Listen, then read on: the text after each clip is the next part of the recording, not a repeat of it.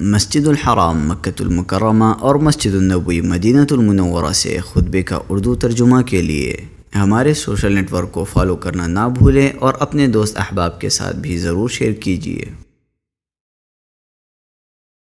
खुतब जुमा मस्जिद नबी तारीख 26 सफ़र चौदह सौ छियालीस हिजरी व मुताबिक 30 अगस्त 2024 ईस्वी मौजू मुहासब नफ्स और फ़िक्र आखिरत खतीब फजरतुल्शेख अहमद अली अलहुदैफ़ी हफिज़ल्ला तर्जुमा अब्दुलरहमान बिन लुत्फ़ुल हक़ तमाम तारीफ़ अल्लाह ताला के लिए है। हम उसकी हम बजा लाते हैं, उसी से मदद मांगते हैं और उसी से बख्शिश तलब करते हैं। हम अपने नफ्स की बुराइयों से और अपने बुरे अमाल से अल्लाह की पनाह चाहते हैं। जिस शख्स को अल्लाह हिदायत देगा, उसे कोई गुमराह करने वाला नहीं और जिसे वो गुमराह कर दे, उसे कोई हिदायत देने वाला नहीं। और मैं गवाही देता हूँ कि अल्लाह के सिवा कोई सच्चा मबूद नहीं, वो तनहा है, उसका कोई शरीक नहीं। और मैं गवाही देता हूँ, मोहम्मद अल्लाह के बंदे और रसूल हैं। अई मोमिन अल्लाह से डरो, जैसे उससे डरने का हक है और तुम हरगिज ना मरो, मगर इस हाल में कि तुम मुस्लिम हो। ऐ लोगों, अपने रब से डरो, जिसने तुम्हें एक जान से पैदा किया और उससे उसकी बीवी पैदा की और उनसे बहुत से मर्द और औरतें फैला दी। और अल्लाह से डरो, जिसके वास्ते तुम एक दूसरे से सवाल करते हो और रिश्तों से भी। बेशक अल्लाह हमेशा तुम पर पूरा निगहबान है। ऐ मोमिनो, अल्लाह से डरते रहो और बात सीधी क्या करो। अल्लाह तुम्हारे अमाल को दुरुस्त कर देगा और तुम्हारे गुना माफ़ कर देगा। और जो शख्स अल्लाह के रसूल का फरमान कहेगा, उसने बड़ी कामयाबी हासिल की। हम दो सलाद के बाद मैं अपने आप को और आप सबको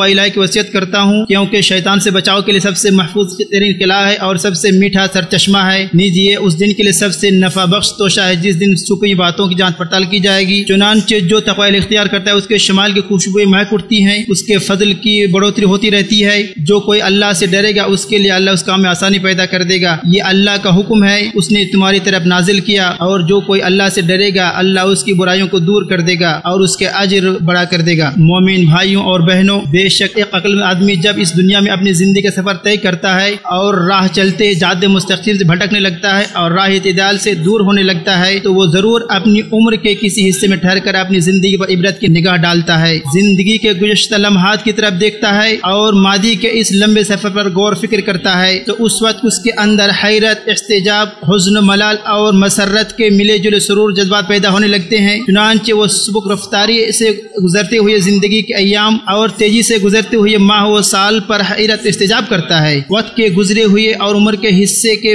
बीत जाने और उस पर सर्जा धरने वाले कोताही, टाल मटोल और दिया वक्त पर अफसोस और नदामत के आँसू बहाता है और अपने मकासद और अहदाफ के हसूलियाबी पर खुशी भी महसूस करता है। ये ज़िंदगी मुख्तसर भी है, तबील भी है। उसमें कभी सादत नसीब होती है, कभी हुसन मलाल भी मिलता है। इंसान को कभी हंसाती है तो कभी रुलाती है। हवादिस और वाकयात की तफसीत के अतबार से तो ये ज़िंदगी लंबी है, लेकिन जब इस सफ़र के राही को अपने आखिरी पड़ाव नज़र आता है तो ये ज़िंदगी मुख्तसर मालूम होती है। इस ज़िंदगी में नाकामियाँ और नामुरादियाँ भी हैं और कामयाबी और कामरानी के किस्से भी हैं। खुशी व गमी के आँसू भी हैं। राहत और सुकून और हजर विसाल और उरूज व जवाल के वाकयात भी हैं। यही इस कायनात में सुन्नत इलाही है, जैसा कि अल्लाह ताला ने फरमाया, जान लो कि बेशक दुनिया की ज़िंदगी इसके सिवा कुछ नहीं, के खेल है और दिल लगी है और बनाओ सिंगार है और तुम्हारे आपस में एक दूसरे से पर बढ़ाई जताना है और अमवाल और औलाद में एक दूसरे पर बढ़ जाने की कोशिश करना है। उस बारिश की तरह जिससे उगने वाली खेती किसानी को खुश करता है, फिर वो पक जाती है, फिर तुम उसे जर देखता है, फिर वो चूरा चूरा बन जाता है और आखिरत में सख्त अजाब है और अल्लाह की तरफ़ से बड़ी बख्शिश और खुशनदी है और दुनिया की ज़िंदगी धोखे के समान के सिवा कुछ नहीं। ये तगैर पदीर ज़िंदगी का सफ़र है जिसे किसी एक हालत पर बरकरार नहीं। ये ऐसे हमारे साथ चलता रहता है, जब उसका एक जानब आसानी है तो दूसरी जानब में हुसन मलाल भी है। जैसे किसी ने क्या खूब कहा, सितारे काफिले के हमरा अंधेरों में भी रहेंगे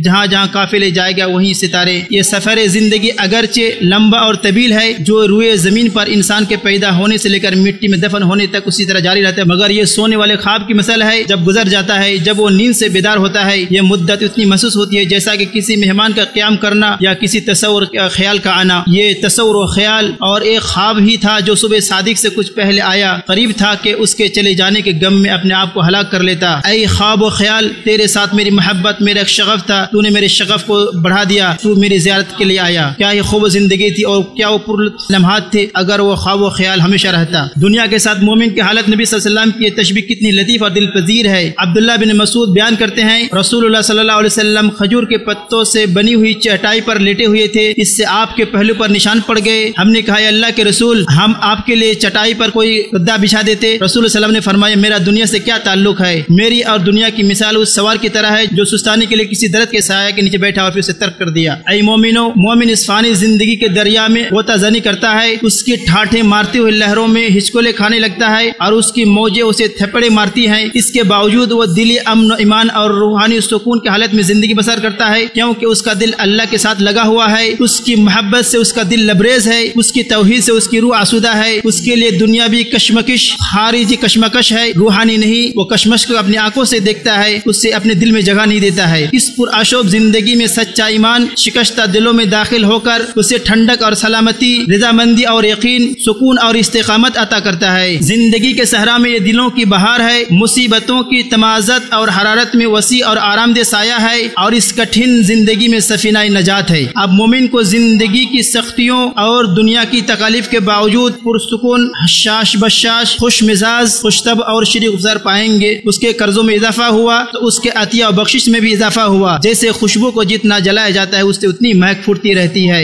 ईमान इस दुनिया भी कश्मकश में दिलों का करार, नफ्स का सुकून और रूहों की खुशी और मसरत का बाइस है। वह शख्स ज़िंदगी की मिठास और ऐश इशरत की लज्जत को नहीं पा सकता, जो उसके बहते हुए दरिया में गोता लगा कर रूह की तिश्नगी बुझ जाने तक सैराबी हासिल न करे। यहाँ तक कि वह उसी रंग में रंग जाए, उसके सैराबी, उसके आजा व जिस्म में बहने लग जाए और उसका चेहरा तरोताज़ा हो जाए। अल्लाह ताला का इरशाद है, जो भी नेक अमल करे, मर्द हो या औरत, और वो मोमिन है तो यकीन हम उसे नहत बेहतरीन ज़िंदगी अता करेंगे और यकीन हम उन्हें उनका अजर देंगे। उन बेहतरीन अमल के मुताबिक जो वो क्या करते थे। ईमान वाली ज़िंदगी एक अच्छी, पाकिजा और इत्मीनान बख्श ज़िंदगी है, जिसके सामने मुश्किल और मसाइब के पहाड़ छोटे महसूस होते हैं और लद्दतों व ख्वाहिशों के अंबार बिखर जाते हैं। ईमान की भी लद्दत और हलावत होती है, जैसा कि नबी सल्लल्लाहु अलैहि वसल्लम ने फरमाया, उसका जायका अपने नस में और उसका असर अपने दिल में वो शख्स पाता है, जिसके दिल में ईमान मुकम्मल तौर से रासिक हो चुका है। और इताअत, तस्लीम और फमरबरदारी के ज़रिए वो साबित हो चुका है, जिसकी लज्जत और हकीकत अल्फाज में बयान नहीं किया जा सकता, बल्कि ऐसे हकायक हैं, जिन्हें सिर्फ़ अहल ईमान पहचान सकते हैं और अल्लाह के खालिस बंदे ही उसके सुराग को पा सकते हैं। अल्लाह ताला मुझे और आपको उनके घरों में शामिल करे और उन्हीं के साथ हमारा हशर करे। मुझे और आपको कुरान और सुन्नत में बरकत अता फरमाए और उसके तकवा को हमारे लिए ज़्यादा राह, सरमाया और ढाल बनाए। मैं इन्हीं कलमात पर अपनी बात खत्म करता हूँ और मैं तुम्हारे लिए सबके अल्लाह से माफ़ी माँगता हूँ। बस तुम भी उससे माफ़ी मांगो और रुजू करने वालों को बख्शने वाला है।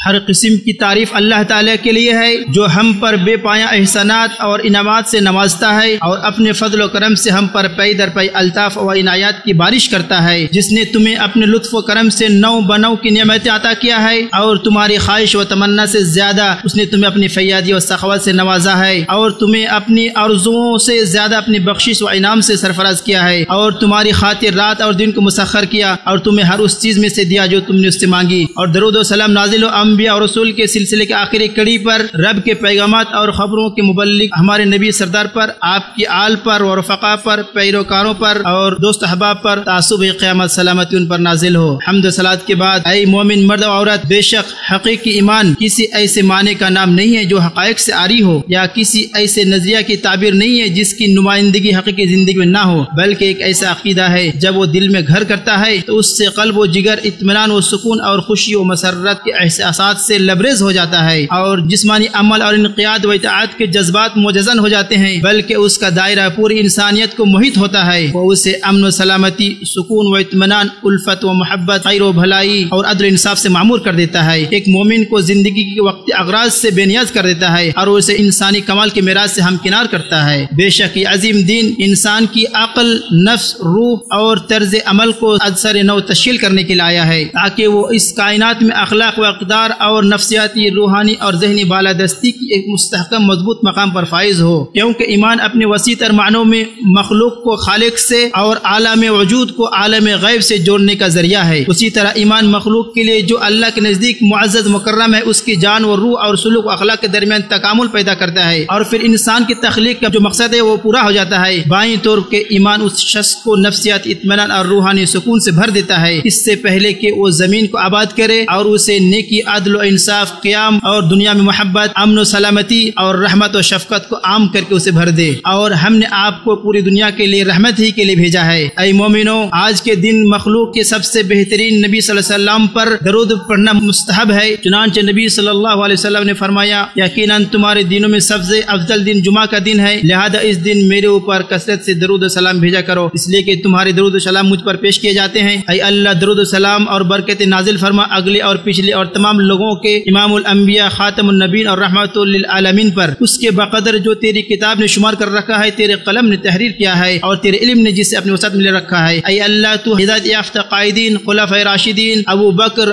उमर, उस्मान, अली और नबी के तमाम साहब कराम से राज़ी हो जा और उसी तरह हमसे भी राज़ी हो जाए अय अक्रम अक्रमीन। अय अल्लाह, इस्लाम और मुसलमानों को गलबा अता फरमा, कुफर और अहल कुफर को जलील व रुसवा फरमा और इस बाबरकत मुल्क को और तमाम मुस्लिम ममालिक को महफूज और अमन वाला बना अय रबालमीन अय अल्लाह, हमारे फ़िलिस्तीन के भाइयों को तू अपने और उनके दुश्मनों के खिलाफ अता अता फरमा। अल्लाह, उनकी हालत दुरुस्त फरमा, उनके नुकसान का बेहतरीन बदला दे, उनका मुहाफिज और मददगार बन जा। अल्लाह, तू उनके दुश्मनों को अपने गैद व इंतकाब की लपेट में ले ले। अय कवि अय अज़ीज़ अय अल्लाह, हमारे पेशवा खादिम हरमैन शरीफैन और उनके वली अहद को ऐसे कामों की तोफीक अता फरमा, जिनमें बंदों की भलाई है और जिसमें दुनिया आखिरात की भलाई है। और जो भी काम वो अंजाम दे रहे हैं और जिन्हें छोड़ रहे हैं, उनमें खैर के मामले में मदद फरमाए रबालमीन अल्लाह, हम तो भलाई चाहते जो तू जानते हैं, और उस बुराई से मदद मांगते हैं, जो तू जानता है, तू जानने वाला है, और तू गैब का इल्म रखने वाला है। अल्लाह के बंद, अल्लाह का शुक्र अदा करके उसके फजल करम को तलब करो, उसकी इतात करो। अल्लाह परवरदिगार है, उन तमाम बातों से पाक है, जो काफिर की शान में कहते हैं, सब तरीबा अल्लाह के लिए है।